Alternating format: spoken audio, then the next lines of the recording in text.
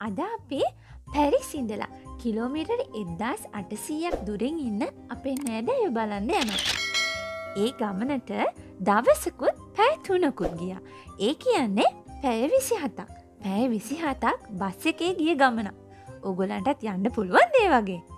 Bus එකට නම් අපි දෙන්නටමගේ යුරෝ එකසිය පණහක් වගේ මුදලා. ඒ කියන්නේ ලංකා මුදලින් කිව්වොත් රුපියල් තිස් හතරදහක් වගේ මුදලා. එහෙනම් උගුල් හැමෝම පිළිගන්න. ලෝකයේ පැරණිතම නගරයක් වගේම සංචාරක නවාතැන් පෙලක් වන ඉතාලිය පිහිටි සුන්දරම නපෝලි නගරයට. නපෝලි කියන්නේ ඉතාලිය කැම්පේනියා ප්‍රදේශය අගනුවර වගේම රෝමයටත් මිලාන්වලටත් පස්සේ ඉතාලිය තියෙන විශාලතම නගරය. ඒ වගේම තුන්වෙනියට වැඩිම ජනගහනයක් වගේම විශාලතම නාගරික ආර්ථිකයකට හිමිකං කියනෙත් මේ නපෝලි නගරම තමයි. ග්‍රීකයන් විසින් ආරම්භ කරපු මේ නපෝලිය ලෝකෙ අකණ්ඩ ජනාවාසයන්ගෙන් පැරණිතම නාගරික ප්‍රදේශයක් තම. ඒ වගේම රෝමෝරුන් යටතේ පැවති මේ නගරය වැදගත් සංස්කෘතික මධ්‍යස්ථානයක් විදිටත් පිහිටලා තියෙනවා.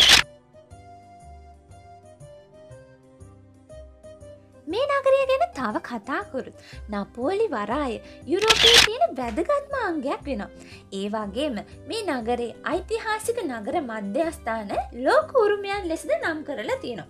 කැස්ට්‍රාමාලිගාව පොම්පෙහි සහකිවලිය කියන රෝම නටබුම් ඒ අතරින් විශේෂ තැනක් ගන්න. ඒ වගේම ස්වභාවික සුන්දරත්වයෙන් යුතු තැන් රාශියක්ම මේ නගරේ පිහිටලා තියෙනවා. ඊට අමතරව ඔයාල ගොඩාක් ආස කරන පීසවල ආරම්භය වනේ මෙන්න මේ නගරේම තමයි. ඒ පෝරණු පීසවල රසන්න නම් කතා කරලා වැඩක් නෑ. මගේ ජීවිතේ මං ඒ වගේ රස තියෙන පීස එකක් අද වෙනකම් කොහෙම්වත් කාලනෑ.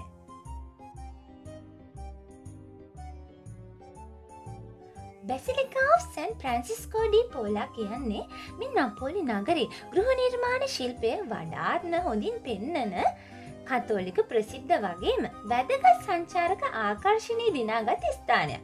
ඉද්දා සටසි තිස්සායේදි විවෘත වෙලා තියෙන මේ පල්ලිය ප්‍රන්සිස්ද පෝලා වෙනුවෙන් කැප කරලා තියෙනවා.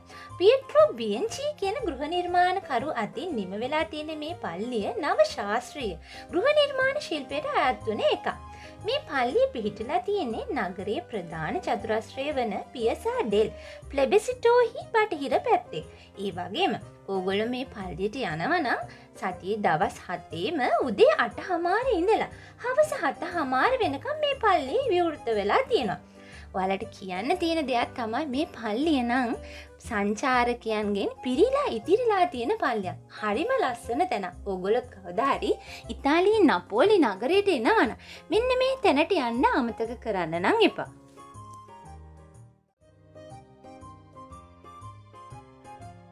The Royal Place of Naples. කියල කියන්නේ අද වෙනකොට කෞතුකාගාරයක් විදියට පවත්වාගෙන යන මහල් තුනකින් සමන්විත රාජකීය මාලිගාවක්. මේ මාලිගාව දකුණු ඉතාලිය මධ්‍ය නෙපල්සි ඒ කියන්නේ මධ්‍ය නපෝලියෙහි තමා පීටලා තියෙනෙ. ඒකත් එක්තරා විදිහක එක සංචාරක නවාතම්පුලක් කිවොත් මන්නේ වැරදි. බාධාද ඇරුණ හම ඉතිරි දවස් හයම උදේ නමේ ඉඳලා රෑ අට වෙනක සංචාරකයෙක් විදිහට ඔයාටත් මෙතන්ට ගිහිල්ලා බලන්න පුළොන් හැබැ ඔයාලට යුරෝ හයත් යුරු දහයත් අතර මුදලක් වියදං කරලා ටිකට් එකක් නම් ගණඩ වෙනවා.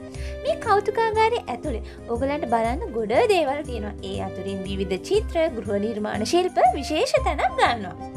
මං ඔයාලට මේක හිස්ත්‍රීක ගැන කතා කරොත් එය නෙපල්ස් රාජධානයෙන් සහ පසුව සිසිලියා දෙදෙනගේ රාජධානය පාලනය කරනකොට බොර්බන් මන්දිරය විසින් භාවිතා කරන ලද. නෙපල්ස් අසල පිහිටි නිවාස හතරෙන් එකක් වෙනවා. එදස් නමසේ දහන්නාමේ විවෘත වෙලා තියෙන මෙන්න මේ මාලිගාවේ ගෘහ නිර්මාණ ශිල්පීන්කරුවන් වන්නේ ලුයිහි වැන්විටෙහි වගේම ඩොමිනකෝ ෆ්‍රොන්ටාන. ඒ වගේම මේකත් නවශාස්ත්‍රයේ ගෘහ නිර්මාණ ශිල්පී ගණයට තමයි අයත්වන්නේ.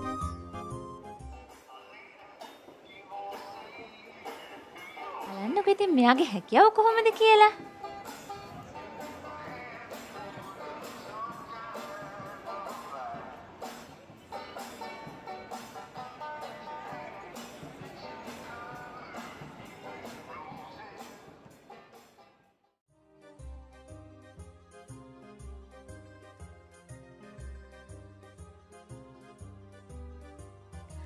නපොලි කියන්නේ බලන්න ලස්සන තැන් ගොඩාක් තියෙන සුන්දර නගරයක්. ඒ වගේම ඉතායි කෑම කිව්හම මුළු ලෝකෙම හරිම ප්‍රසිද්ධ තැනක් ගන්නවා. ඒක ඉතින් ඔගොලු හැමෝම දන්නවනේ විශේෂෙන්ම පිසා ලසඥා පැස්තවර්ග වගේ ගොඩාක් කෑම ජාති ඉතාලින් නාවේව තමයි. අපි දැන්ගේනේ තවත් එක සුන්දර අත්දැකීම. මේ සුරතල් සතා අයිති වෙන්න ඔගොලන්ට ඔය පේන රෙස්ටුරන්ට් එකට. ඉතින් ඔගොල බලන්න මේ රෙස්ටුරන්ට් එක කට්ටේ ඒගොල්ලන්ගේ සුරතල් සතා යොදාගෙන කස්ටමස්ලා ගන්න ගන්න වගේ මේ ගොල්ලගේ කස්ටමස්ලා තව වැඩි වෙලාවන් තියාගන්න ඒගොල්ල පාවිච්චි කරන විදිිය. ඔයාල දන්නවද? ලංකායි විතරක් නෙමේ හැම රටකම පොලක් කියන දේ තියෙනවා. ඉති දවසක අපි ජීවත්වෙන පැත්තේ පොල ගැන විස්තත් අපි ඔයාලට වෙනම වීඩියෝ එකකින් ගේන්න අපි මේ නගරේ ඇවිදිනකොට දැක්ක තවත් විශේෂ දෙයක් තමයි මේ නගරේ බිමට අතුරලා තියෙන ගල්වර්ගේ. අපිට දැනගන්න ලැබුණු විදිහට පොම්පේ විසූවයා ගිනි කන්දෙන් ගලාගනාව ලාවවලින් තමයි මේ ගල් නිර්මාණය කරලා තියෙන්නේ. මේ බිමට අතුරලා තියෙන ගල්වලින් ඒ නගරයට පුද්මාකාරූ අලංකාරයක් ගෙනල්ල දීලා තියෙනවා. ඒ නගරේ සුන්දරත්වය තව තවත් වැඩි කරලා දීලා තියෙනවා මේ ගල්වලින්. මේ යුරෝපිය රටවල් වල දකින්න තියෙන විශේෂම දේ තමයි ඒ රටවල් වල එයාලට ආවේනකු ගෘහ නිර්මාණ ශිල්පයක් වගේම නගර සැලස්මකුත් දකින්න තියෙනවා. වැදගත්ම දේ තමයි මේ හැම රටකම වගේ තියෙන ගොඩ නැගිලි පවා ගොඩාක් පරණේවා. ඒ ගොඩ නැගිලි වල ස්ත්‍රක්ෂක වුණත් වෙනස් කරන්න අයිතිය තියෙන ඒ අදාළ රජයන් වලට විතරයි. උදාහරණයක් විදිහට මේ ගොඩනැගිලිවල ජීවත්වෙන මිනිස්සුන්ට තීන්ත ටිකක් වුණත් ගාන්න අයිතිය තියෙන ඒ ගොඩනැගිලිවල ඇතුළත විතර. එහෙම නැත්තා ආදාළ බලධාරීන්ගෙන් හරි නගර සභාවයෙන් හරි යාලට අවසරයක් නම් ගණ්ඩ වෙනවා. ඒ නිසා තමයි මේ යුරෝපිය රටවල් මේ තරන් ලස්සනට තියෙන්නේ. ඒ අතුරෙනුත් ඉතාලිය කියන්නේ ගෘහ නිර්මාණ කටයුතු අත්තිං ඉතාම හොඳ තැනක් ගත්ත රටක්. ඇත්තටම ගෘහ නිර්මාණය අතින් හොඳටම තියෙන රටක් තමයි ඉතාලිය කියන්නේ.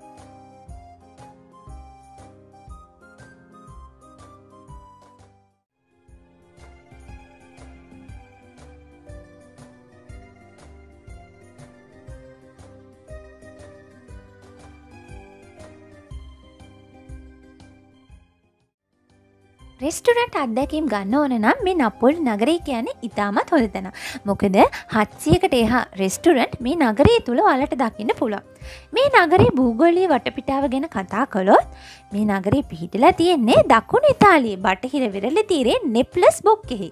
මුහුදු මට්ටමේ ඉඳලා මීටර හාරසිය පණහක් වගේ උඩින් තමයි මේ නගරේ පිහිටලා තියෙන. ඒ වගේම නගර මධ්‍යේ කුඩා ගංගාවලින් ආවරණය වෙලා තියෙනවා. වෙසුවියස් වගේම කැම්පි ෆ්ලේ ග්‍රේ කියන ගිනිකදු මධ්‍යය තමා මේ නගරේ පීටලා තියෙනෙ.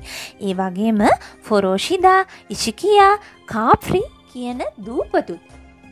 මේ නගරය අවට තමා පිහිටලා තියෙන ඉතිං මේ වගේ භූගෝලිය වටපිටාවක් තියෙන නිසාත් නපෝඩි නගරය කියන්නේ ඔගොල්ල අනිවාරයම ඇවිල්ලා බලන්න වටින තැනක්.